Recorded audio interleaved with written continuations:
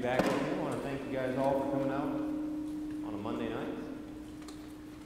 Does that sound as bad to you as it does to me? Am I too high? Too high. Did I go up there? Does mic work okay? Slide it down. Okay. All right. Is that, is that better? I think that's better. Okay. Everybody hear me all right? All right. Now that I've got your attention, we're going to continue on talking about fortifying the family. And we're going to talk about the issue which, you know, in, in Paul writing the first, or writing to Timothy in Second Timothy, one of the last things Paul ever wrote, really the last thing uh, as, as, far as church history reports for us, Second Timothy. And the last chapter of the last thing Paul wrote for us was Second Timothy 4. And he warned Timothy, he was telling Timothy, preach the word, be instant in season, out season. And the reason why, people aren't going to endure sound doctrine. People are going to want their ears tickled. People are going to want you to teach or, and, and tell them and say the things that they want to hear. So, Timothy, you can't do that. Preach the word. Things haven't changed. People always want to have, as, as Paul said, their ears tickled. They want to be told you're doing just great, you don't need to change it. All exactly what you believe is right, and, and everything you do is exactly what God wants you to do.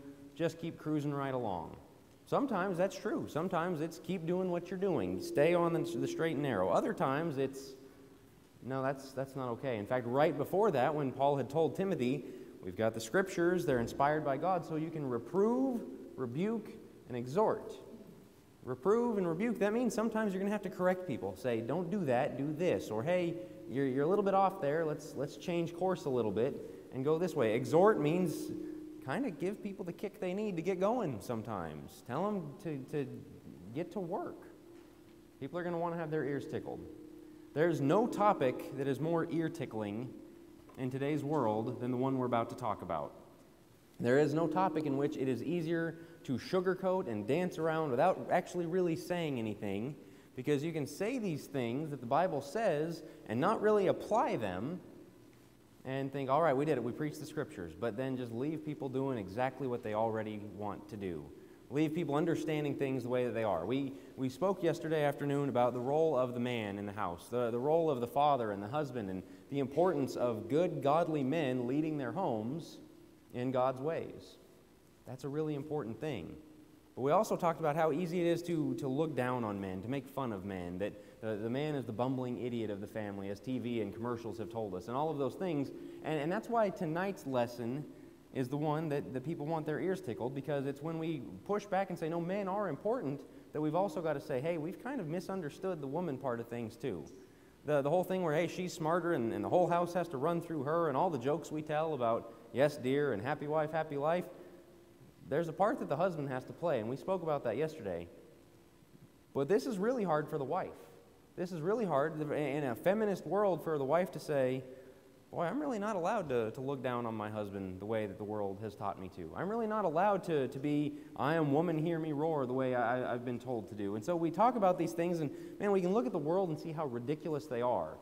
I mean, we live in this time of, of transgenderism and the drag queen thing, and you look at it, and I can't even look at it for long. When they put those headlines on the news, I've got to, I've got to avert my eyes because it's so off putting. You can see that and go, this is so wrong.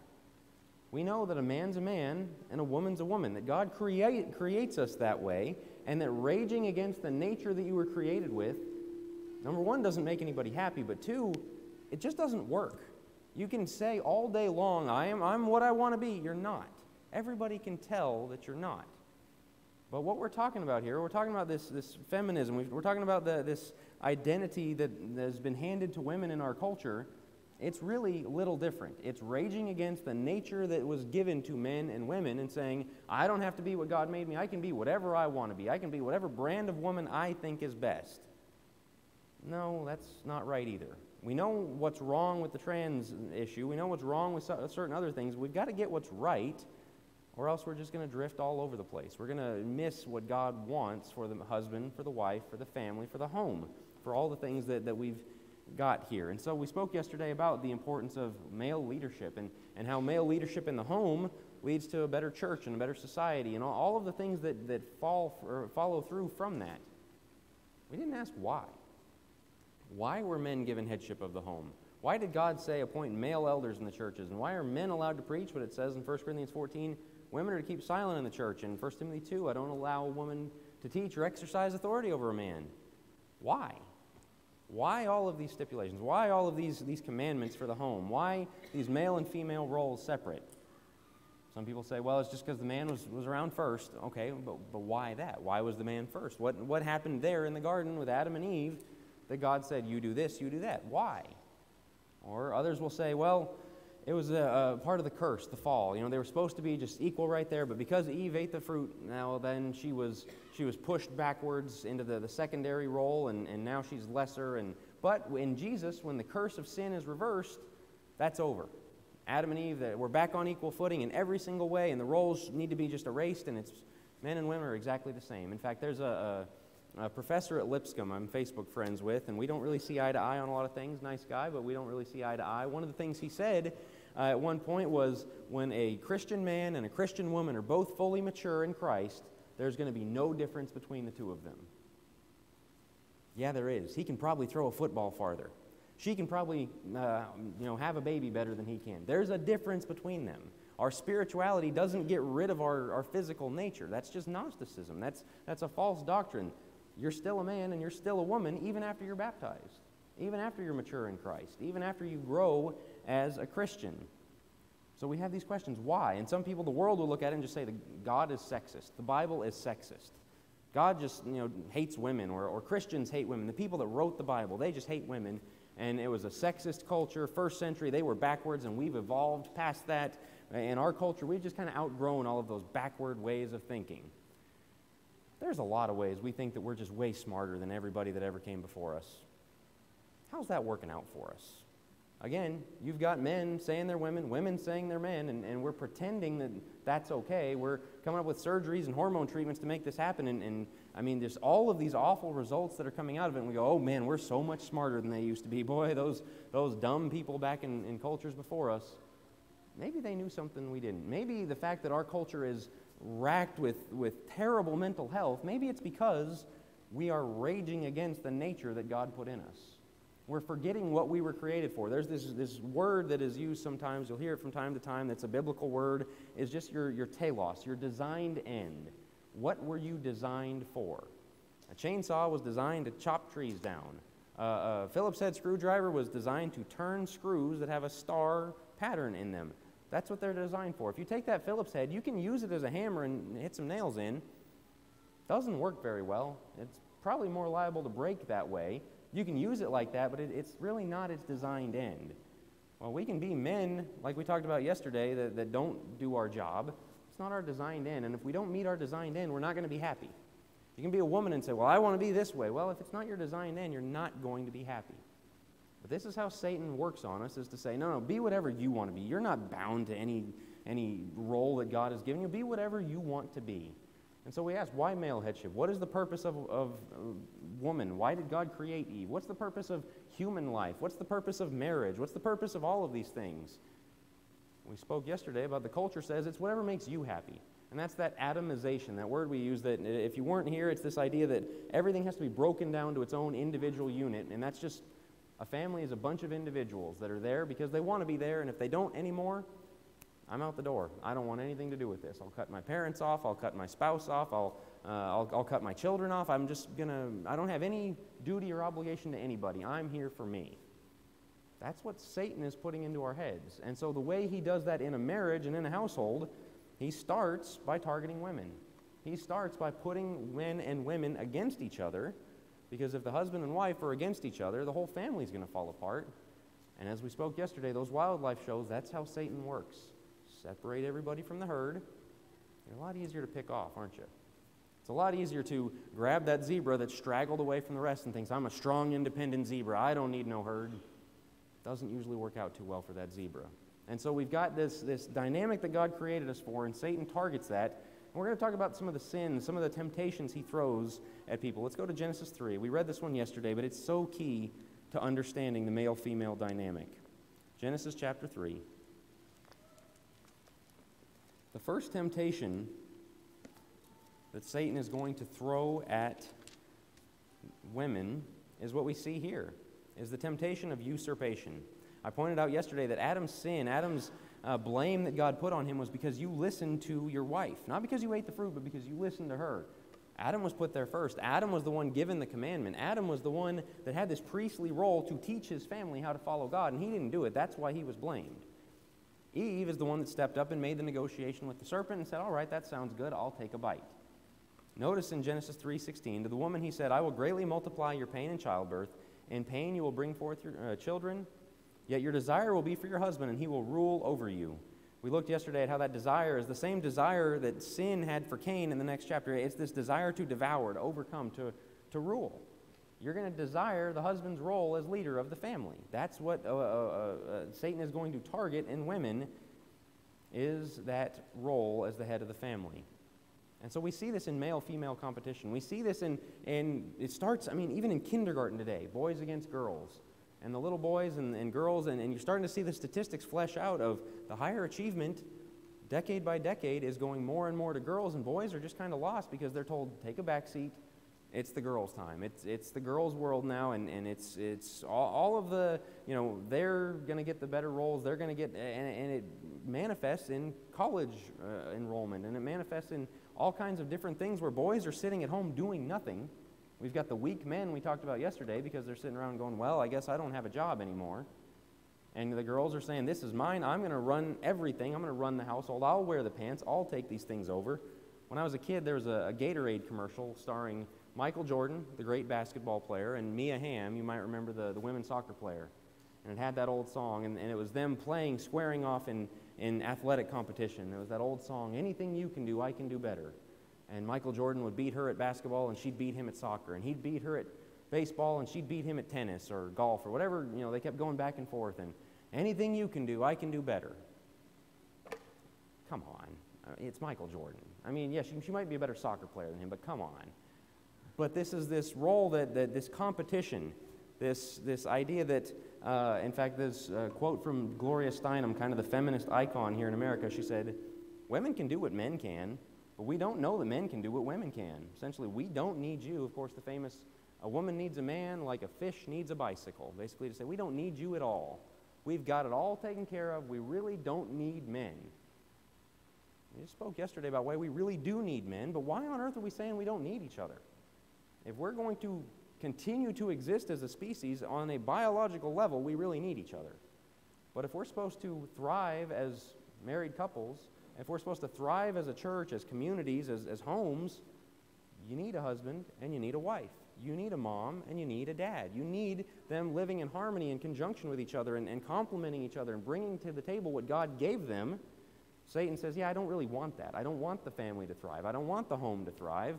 And so what I need to do is, is create competition and create this, this, uh, this arm wrestling happening in the House. Even our current president said a few months ago there's not a single thing a man can do that a woman can't do as well or better. Not a single thing. I mean, again, blatantly false, but if that were true, there's not a single thing. I, mean, literally, let's take that as literally as possible. There's not a single thing that a man can do that a woman can't do as well or better. You, again, you don't need men. We can get rid of all of them. We can tell all of them your services are no longer needed. It's going to be a woman's world now. We need both. We have to have both. We can't, uh, men can't say, I don't need women. Women can't say, I don't need men. But we're at this place where the President of the United States is saying, eh, we only really need one of the two genders. It's ridiculous. But this is the, the path that Satan has set us on. And it's this path that we spoke yesterday about divorce and abortion and all those things, but there's a stat I heard today that 45% of women ages 25 to 44 will be single and childless by 2030. A lot of these stats you hear and says, oh, by 2050, by 2100, by way down the line, generations down the line. No, this is seven years from now, almost half of every woman, 25 to 44, will be single and childless.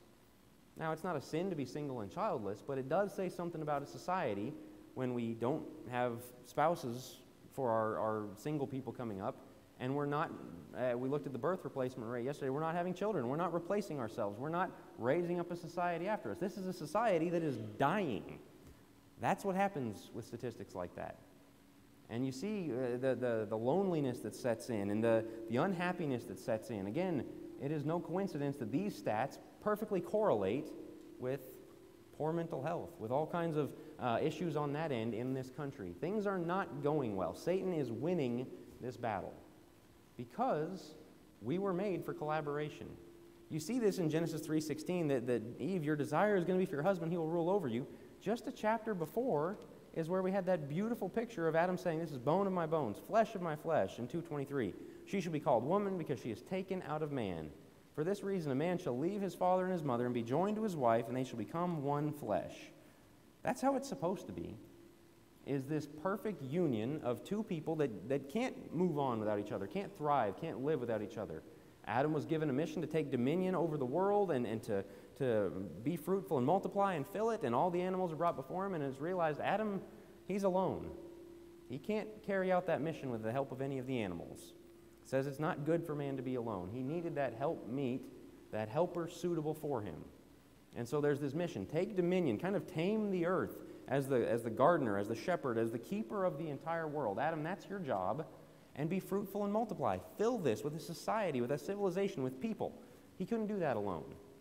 And so he's given this help me. He goes out and, and he's supposed to build and, and grow and do all these wonderful things, things that we never got to see happen because they fell in temptation. But then it, it was this idea of he was to take the world, Eve was to fill it. He was in the same way we have today. A man builds the house, the woman makes it a home. That was God's design. And yet, when Satan gets a hold and he, he comes right between the husband and the wife, what happens? We never got to see that happen with Adam and Eve. We never got to see them fulfill that purpose that God put them here for.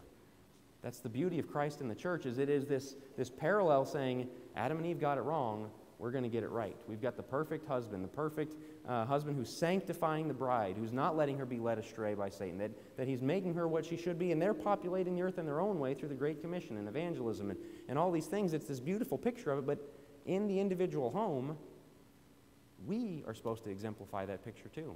I, as a husband, am supposed to be a husband as Christ is to the church, Ephesians 5 says. The wife is supposed to be to her husband as, as the church is to Christ in that submission. But we let the world tell us, no, no, that's no good. You're, you're equal, on, equal footing in every way, that you're supposed to submit to each other, that it's not this, this hierarchy. Satan doesn't want the house built, and so he comes in and again tries to stand between the husband and the wife, leads to misery, leads to broken homes, leads to a failed society. And so we go back to that question why doesn't a woman get to lead? Why did God say not to? Why did God say Adam and then Eve? Why did he say Wives, submit to your husbands in Ephesians 5 and in 1 Peter 3 and all those passages we have. Why? Again, there's all those answers. Oh, well, the Bible is sexist. Oh, God doesn't like women. Oh, all, all these things. No, it's design. As I said earlier, you have a design that you were created for. You have specific characteristics that make you good at those things. I mentioned earlier, I mean, you can just look at a man and a woman. You can stand a man and a woman next to each other and go, you know what? They weren't made for the same purpose, were they? I am not very good at childbearing. I'm not very good at, at a lot of those kinds of things. God didn't create me for those things. God created a woman for those things. So, what did God create a man for? And you, you get into those questions. The, again, the feminists say, We can do anything you can, but you can't do anything we can. No, when it's time for somebody, you know, when, when uh, especially in old times, when somebody invades the city, you don't send the women out to take care of that. Men are bigger, men are stronger, men have more aggression.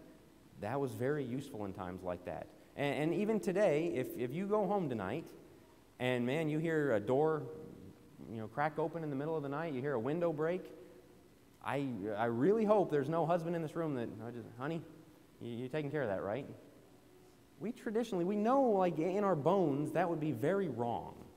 Why would that be very wrong? If the man is physically capable, that's his job. Why? He's stronger. He has that aggression. He has those characteristics, those principles, those, those physical uh, things that God gave him to be that way. And we look at those and we say, well, those are valuable. Strength is valuable. Money making potential is valuable. Um, uh, all of those things, those are valuable. So we need men and women who can both do that. No, the things that women uniquely bring to the table, those are really valuable too. But we live in a society that worships two things power and money. And so if uh, you know, we look at it and say, well, men get all the power and money, so we need women to get all the power and money. Well, it's a problem that men live for power and money. But there is a place for, for power and earning and providing and all those things. But it's also a problem where women live for it and it creates this competition. But women are created for nurturing and caring and, and not fighting. Those are beautiful things. Children need to be nurtured and cared for. I love my kids. My wife is a lot better at nurturing them in certain ways that, you know, I kind of, my son falls down and starts crying, and it's, all right, come on, dude, get up. Let's go. Scrape it off. Yeah, I mean, I'll be there to comfort him for a second. Okay, you're carrying on a little bit. Mom's there to say, hey, buddy, come on, it's okay. Comfort him, you know. We're wired differently for a reason. But the problem is, when you put me in that situation, I'm not very helpful. But if you put her in a situation where she's got to defend against an attacker, she's not really suited to that. The same way in Acts 20, when Paul says, hey, to the elders at Ephesus, wolves are going to come in and try and tear the church apart. Why do we have male elders? Because you don't send women to fight wolves. You don't send the women of the church to stand up to a false teacher and say, sit down, you're not allowed to talk anymore. You don't send a, a woman into society and when they're trying to trans eight year old children to say, stop it. We're not allowing this anymore. That's a man's job to do those hard things, to take those difficult stands. We talked yesterday, one of the things men need to be is courageous. Why? Because you were wired that way. You were wired for fighting, and women weren't. And that's a good thing. That's, you need both sides of that to create things. But how many bad ideas can come about because Satan goes, you know what? The woman has that more emotional, nurturing nature. Let me key in on that. Let me take advantage of that. Let me work into that. I like to use the illustration of participation trophies. Everyone likes to make fun of participation trophies, right? Oh, all you kids, just get your participation trophies. You know how that happened? I can tell you exactly how it happened. I wasn't there, but I know how it happened. One day there was a championship game, and one team won, and the other team lost. And there was a poor little kid probably eight years old, crying on the bench. And one of the moms said, Man, I feel so bad for him. We should get trophies for them too. And somebody might have said, Well, they lost. You don't get a trophy. In fact, the thing about it is when you lose, it motivates you to try harder and get better so next season you don't lose. That's, that's kind of losing has its advantages. But that nurturing, that, that positive nurturing, the mom said, Well, we, we should give them a trophy too. And maybe somebody else said, Yeah. And then one of the men maybe said, well, no, you, uh, you lost. You don't get a trophy. And you know what happened? The weak men that we talked about yesterday said, Oh, come on, man. The, the women are going to get mad at us if we say we can't give them trophies. Just get out of the way. Don't be mean. Don't be rude. Don't take a stand on this. And you think, okay, that's pretty dumb. That's, that's participation trophies. Yeah, it's a pretty dumb example. Put in some more serious things. How do bad doctrines come into a church? Because it sounds good to somebody, and the guy who stands up against it, everybody goes, man, I might agree with him, but he's kind of being mean. He's kind of, yeah, did he really have to say it that way? This is stuff we get at Focus Press all the time. Well, I agree with you guys, but I just, I just wish there wasn't so much fighting. So somebody came in and taught something false. We disagreed with them, and your takeaway is we just shouldn't fight over this. No, you've got to take those stands. That's what the masculinity is there for.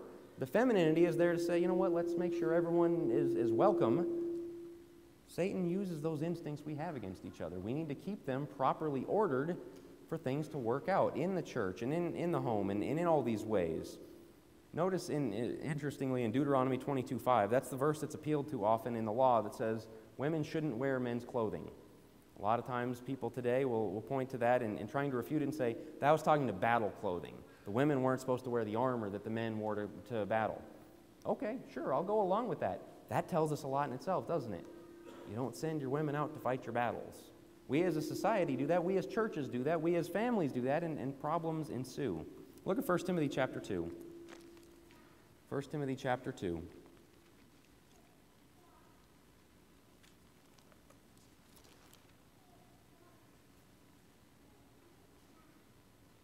Might all sound, in fact, to the, to the modern trained mind, this sounds incredibly sexist. The Bible is sexist in a sense, and it says there are men and there are women, and there's differences between the two. But it's very interesting what's said in this section here at the end of 1 Timothy 2 to talk about the, the strengths and weaknesses and why we have these differences between the sexes. 1 Timothy 2, verse 9 Likewise, I want women to adorn themselves with proper clothing, modestly and discreetly, not with braided hair and gold or pearls or costly garments, but rather by means of good works, as is proper for women making a claim to godliness. A woman must quietly receive instruction with entire submissiveness. But I do not allow a woman to teach or exercise authority over a man, but to remain quiet. For it was Adam who was first created, and then Eve, and it was not Adam who was deceived, but the woman being deceived fell into transgression. But women will be preserved through the bearing of children if they continue in faith and love and sanctity with self restraint. He says they're, they're not getting up to lead, and, and here's why. Not only the creation order, but she was deceived. Everything I just said, she was the target because she was that, that easier target. She wasn't a fighter. She wasn't going to kill the snake and say, We're not doing that. That was Adam's job. He didn't do it. Eve was not created to do it. She didn't have that role. She didn't have that, that wiring to do so. But notice what it says. It's that, that, as it says in verse 9, the modestly, discreetly, good works are her proper uh, claim unto godliness. 1 Peter 3 has a, a similar phrase where it says that a quiet and submissive spirit is pleasing in the sight of God. Why does it use terms like that? Because that's not your wiring, that's not your, your temptation. Your temptation is to not be those things. In fact, when you hear these things, and when the feminist mind hears these things, they think that's so sexist, you shouldn't be that way at all. And yet the scriptures say these are the things that please God, is when a woman says, I've got every desire in the world to run over my husband, to not be a part of this system. God wants me to. I'm going to submit to that. That is a claim to godliness. That is pleasing in the sight of God. And so the question is if we think that's pleasing in the sight of God, we've been discipled by the Bible. If it's not, what have we been discipled by? If we look at that and say, well, that's, that's backwards, that's sexist, that's old timey, that's okay, who's teaching you? Who has discipled you?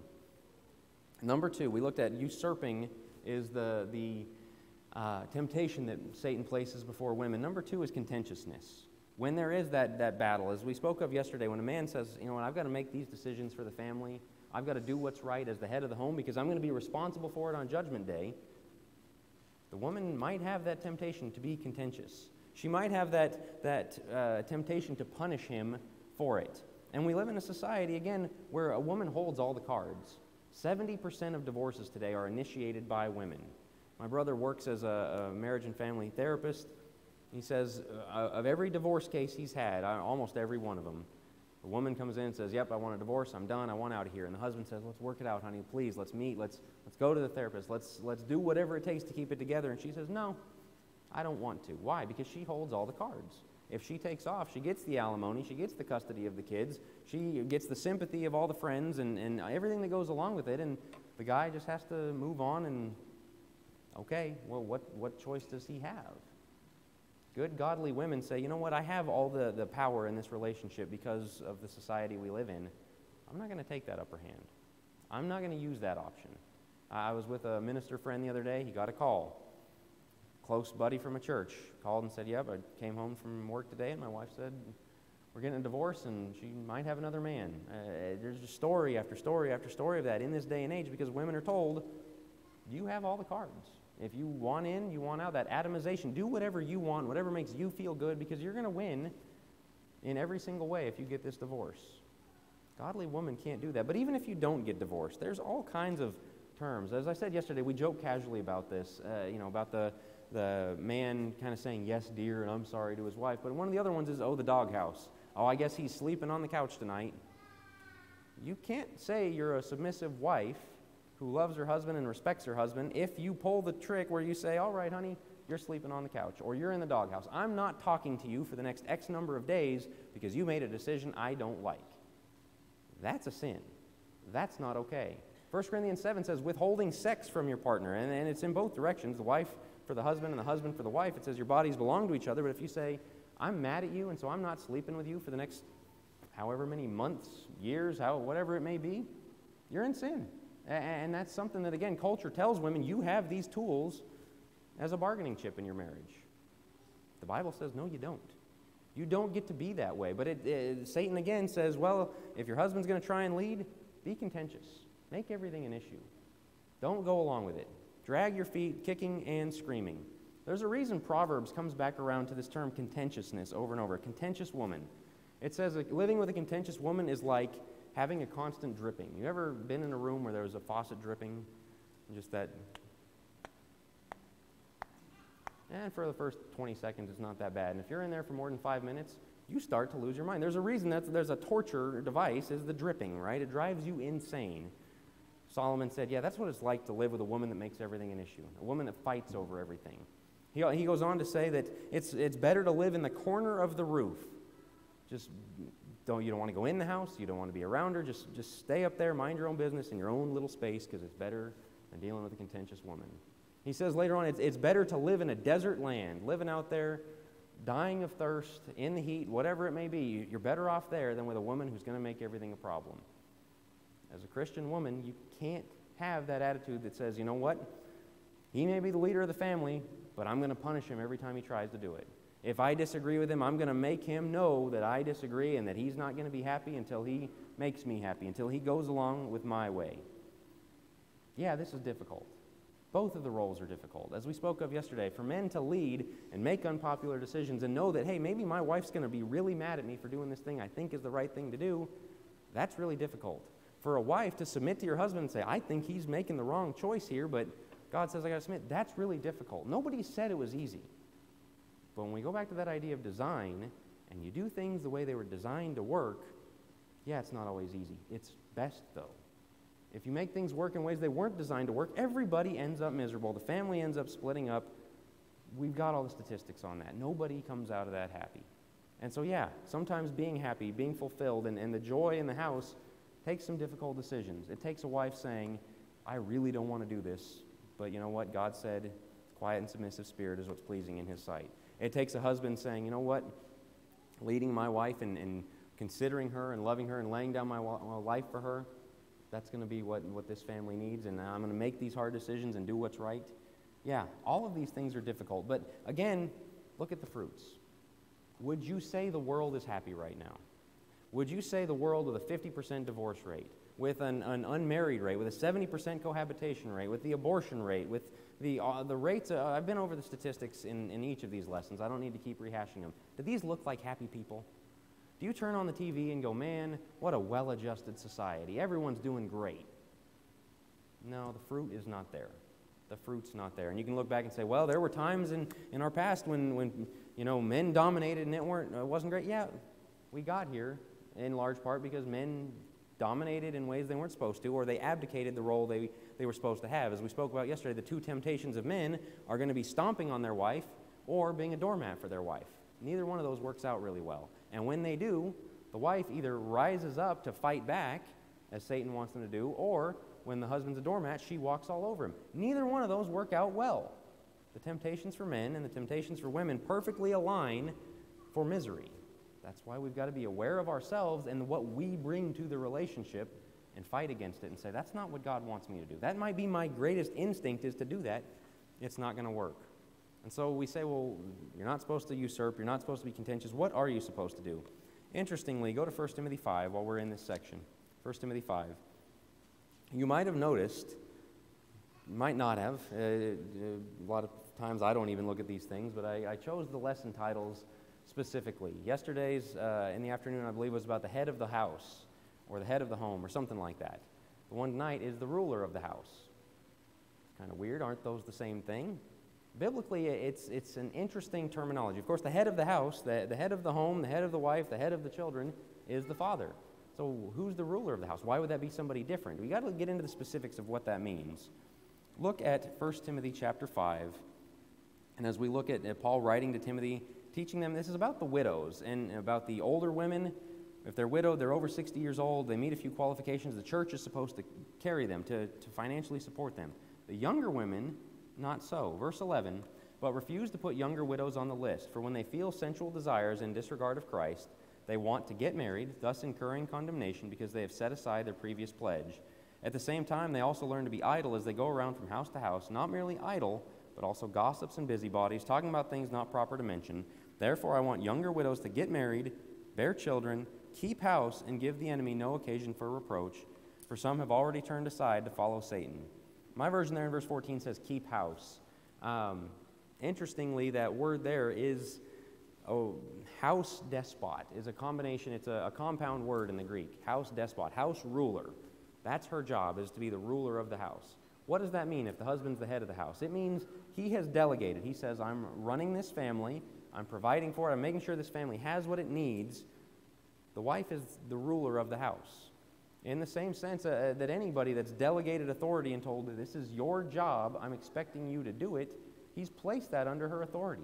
You think about like Joseph in the Old Testament, when Potiphar says he put everything in his house under Joseph's authority. Joseph ruled that house. Was Joseph over Potiphar? No. But when Potiphar wasn't there or, or when any decision needed to be made, that was Potiphar's, or that was Joseph's realm was to take care of that. What says that, that these younger women are to be the ruler, the keeper of the house. Similarly, in Titus chapter 2, it tells uh, Titus teach the older women to teach the younger women to love their husbands and children, to keep the home. That's the center of their work. But notice the things that he says will, will pull them away from these things in verse 13 idleness, gossips, busybodies. And it's interesting that that gossip, that busybodiness, it's exactly the kind of thing that, that takes women's good instincts of nurturing and caring about people and turns it negative. Okay, you care about people. Let's, what's, the, what's the scuttlebutt? What's going on with so and so? You know, have you heard about this, that, and the other thing? Have you heard about what's happening with, with Mrs. So and so? It's not good. Where does that come from? From idleness, from time on their hands. Why do you have time on your hands? Because you're not doing your job as the, the keeper of the house, as the manager, the, the ruler of the house. And so, so many times you get into these and, and people start debating well, can a woman work outside of the home? Can she, can she make money for the family? Can she not? Well, you go to Proverbs 31 and she worked outside the home and all that. Sidestepping that whole debate, what is the point of this? That the woman's primary work in the family is her home. You look at the Proverbs 31 woman, the same thing. She was making sure her husband and, and kids were clothed and fed, and the house was kept warm and clean, and all the things that she had to do. Here it says, be the, the ruler of the house, keeping the house, bearing the children. Uh, in, in Titus 2, the same thing, being workers at home. That is their primary realm. Why? Because the husband's realm is outside the home. Same with Adam and Eve. He was supposed to go build the world, she was supposed to fill it and care for it. And he was supposed to build the house, she was supposed to make it a home. The same kind of thing is what we have here. But notice as we looked earlier, it said that these things that they do are an appeal to godliness or pleasing in God's sight. In verse 14, when she doesn't get married, bear children, keep house, give the enemy no occasion for reproach.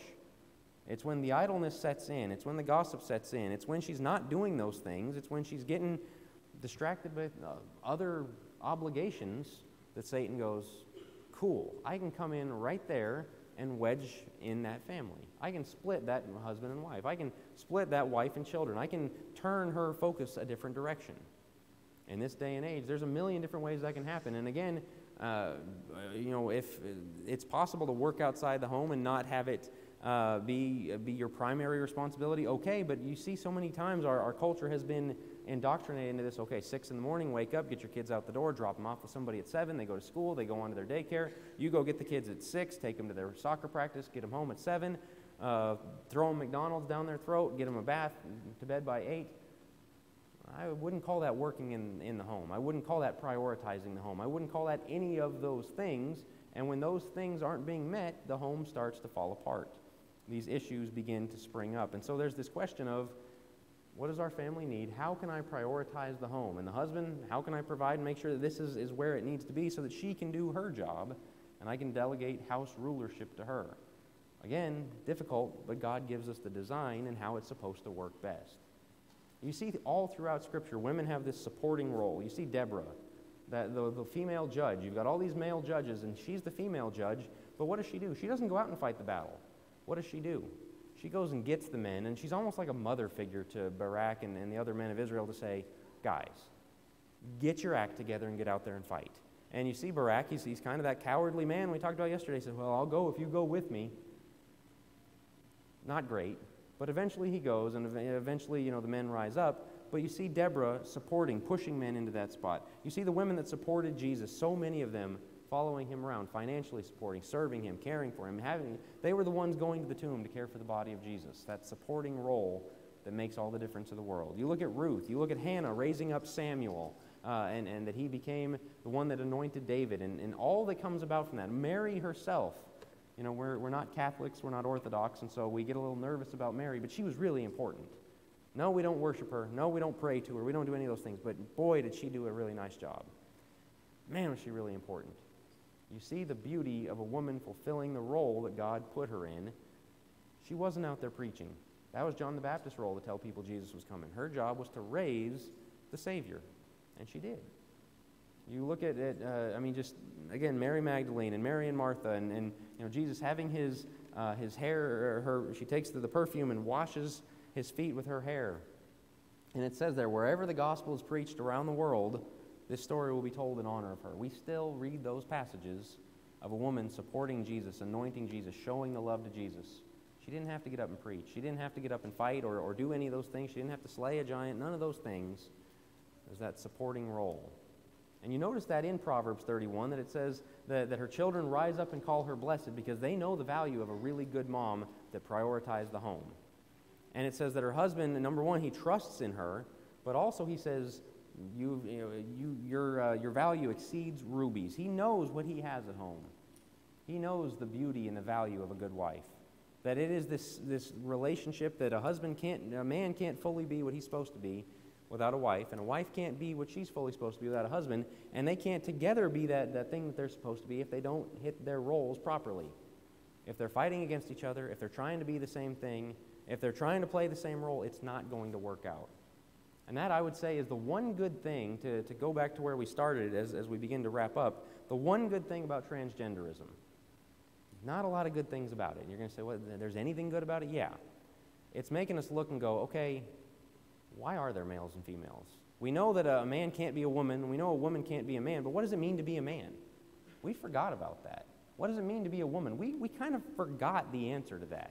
We raise our sons and daughters exactly the same all the way up until I, I don't think we've, we've reached a point where we change anymore. We raise them to think the same way, to value the same things, to aim towards the same things. It doesn't work that way.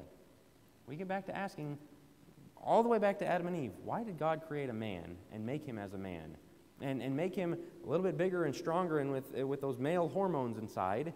And then the woman, why did he make her the way she is and, and more slight and feminine and, and with the female hormones and the differences between the two? Why? Well, you start answering those questions as we have yesterday and today, and you, you start seeing what roles they, the, and the puzzle piece that they make up together, you have a really beautiful picture. The minute you sever that, the minute you, you say, well, these things don't really matter, or those are old school, or whatever, you just start down that path toward all the insanity we see today, where it says you can be whatever you want. Whatever parts you're born with, whatever, you know, anything about you, eh, that's all up for, for debate. Do what you want to do, be who you want to be. No, be who you were created to be. That's how it works out best. That's our Lord and Savior loves us. Jesus, as, as the, the creator of all things, all things hold together, Colossians 1, because of him. He loves us. He made us the way we are, male and female, with that incredible value. He gave us souls. He died for us. He, he created us, male and female, again, because of His design, because of His love, because of His brilliance and wisdom that we just don't have. We're all happier and better off when we're submitted to Him, living in the light of His kingdom.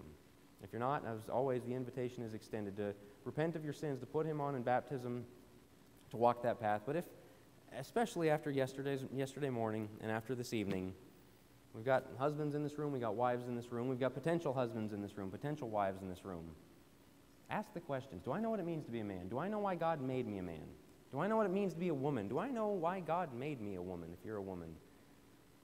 About your sons and daughters, your grandchildren, Anybody in your life, do we realize that? Because when we get those things right, man, things really start to go well. We've got so much work to do in a society that's falling apart so bad, but it starts in the home. You get the home right, everything else starts to flow from it. And so, husbands, wives, be what God created you to be. We're going to talk about children tomorrow night. I want to invite you back to that. But if there's any need, come as we stand and sing.